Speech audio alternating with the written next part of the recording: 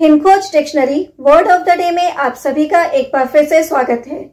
हमारा आज का वर्ड ऑफ़ द डे है H O N O R A R I U M और इसे हम प्रोनाउंस करते हैं ऑनरेडियम इसका यूज़ एज अ नाउन यानी संज्ञा की तरह किया जाता है, और हिंदी में इसका मीनिंग होता है वेतन।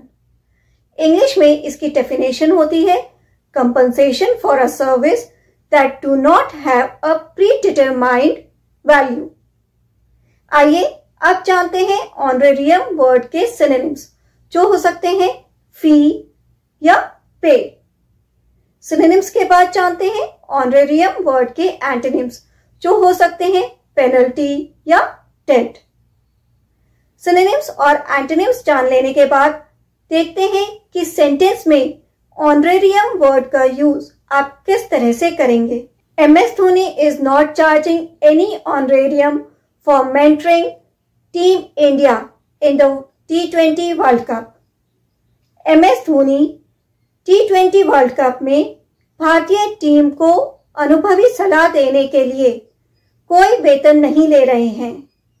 अब आप कमेंट सेक्शन में ऑनरेरियम से मुझे एक सेंटेंस बनाकर ज़रूर बताइए।